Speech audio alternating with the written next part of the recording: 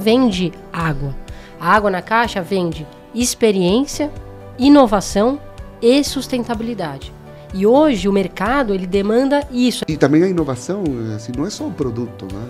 O produto é a comunicação, é a embalagem, é o preço, é onde está distribuído, é todo o capability que tem por trás. O Copec, na minha visão, é uma ferramenta fundamental hoje para inovação.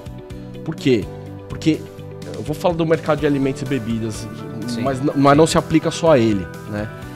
As maiores inovações hoje não estão vindo das grandes indústrias, estão vindo de microempresas, startups, é, uma pessoa. Todas as empresas que eu conheci que estão sendo aceleradas pela Tetra Pak são empresas pequenas. Uhum. Então eles estão dando acesso a um monte de informação e técnicas é, é, que a gente não teria como conseguir sozinho.